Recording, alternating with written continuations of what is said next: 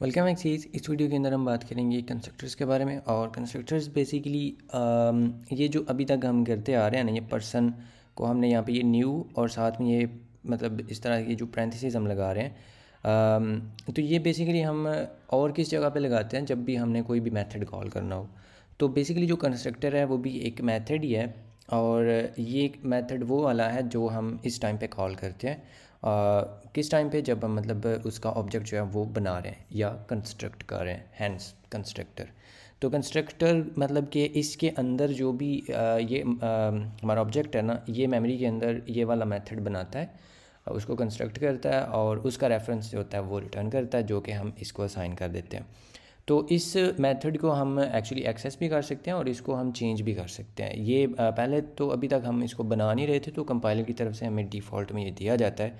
और उसमें ये बेसिकली क्या करता है जो डिफ़ॉल्ट में होता है, अभी हमारे पास ये क्लास है ना पर्सन तो ये जो वेरिएबल है यहाँ पे ये वाला और एक और है हमारे पास, ये वाली जो एज है ये, इन दो वेरिएबल्स को ये डिफ़ॉल्ट वैल्यूज़ दे देता है। अब इंटीजर्स के केस में डिफ़ॉल्ट वैल्यू जो होती है वो ज़ीरो होती है और नॉलेबल स्ट्रिंग जो है उसके केस में अगर आप उसको नहीं देते तो वो नल होती है।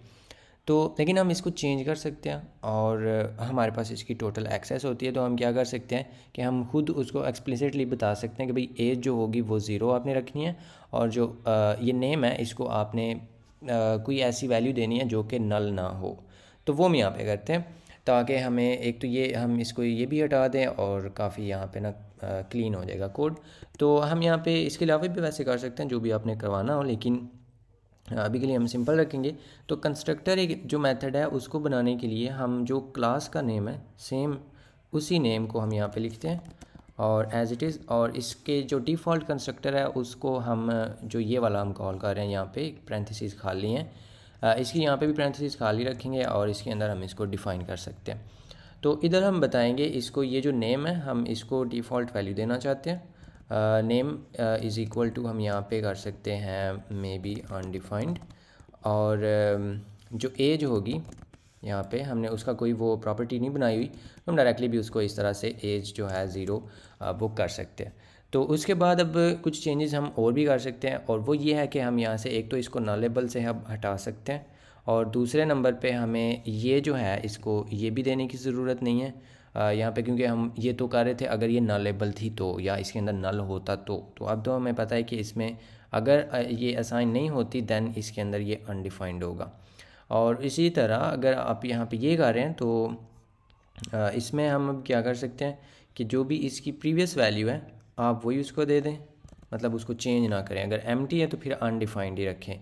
और अदरवाइज़ आप जो वैल्यू ऊपर से आई है, वो दे दें। तो अब ये थोड़ा सा और क्लीन यहाँ से भी हो गया और यस इसको अब अगर आप और भी थोड़ा चेक करना चाहते हो तो आप यहाँ पे कंसोल लॉग कर सकते हैं।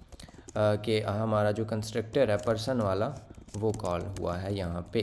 तो ये जो होगा, आपको ताकि नज़र भी आ जाएगा जब हम इसको ये बनाएँगे और इसका अब ये भी फ़ायदा है कि हम यहाँ से इसको हटा सकते हैं। मतलब ये फ़ायदा तो नहीं है ये तो हम यहाँ पे एक्चुअली इसकी वैल्यूज़ असाइन कर रहे हैं।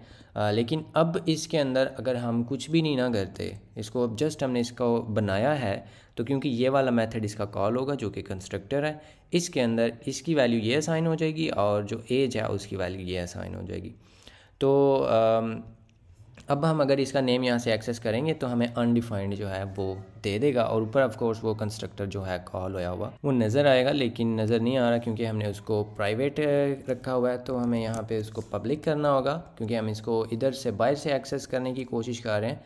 तो इसको मैं जूम पब्लिक करके दोबारा करूँगा तो यहाँ पे पर्सन कॉल्ड क्योंकि हमने इसको बेसिकली यहाँ पे कॉल किया है, और इसके अंदर ये कंसोल जो राइट लाइन है वो हुई है, और उसके बाद हम यहाँ पे अनडिफाइंड जो है, क्योंकि हम यहाँ पे इसको एक्सेस कर रहे हैं। तो ये होता है आपका कंस्ट्रक्टर बहुत ही बेसिक सा, बहुत ही सिंपल सा कॉन्सेप्ट है, लेकिन बहुत पावरफुल है, और आपके पास सारा कंट्रोल अब इधर है आपके पास, क्योंकि आपने इसको, इसकी एक्सेस आपको मिल गया है, कि जब भी अब न्यू यहाँ पे कॉल होगा जब भी कॉल होगा। आप एक और अगर पर्सन बनाते हैं पर्सन टू बनाते हैं मे भी तो इसके, इसको भी जब आप यहाँ पे कॉल करेंगे, इसके लिए दोबारा ये वाली चीज़ कॉल होगी। और उसको सेम वही वैल्यूज़ जो हैं, वो मिल जाएँगी। अब हमने इसको अगर कोई वैल्यू स्पेसिफाई करनी हो तो उसके लिए हम पैरामीटराइज्ड जो कंस्ट्रक्टर है, वो बना सकते हैं, लेकिन वो टॉपिक होगा नेक्स्ट वीडियो के लिए, जिसके अंदर हम कंस्ट्रक्टर ओवरलोडिंग करेंगे।